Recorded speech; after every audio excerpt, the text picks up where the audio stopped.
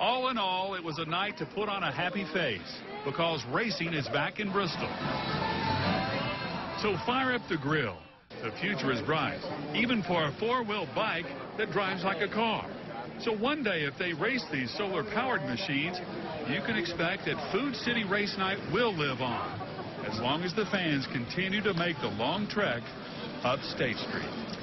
Getting the facts right in Bristol, Paul Johnson, News 5, WCYB.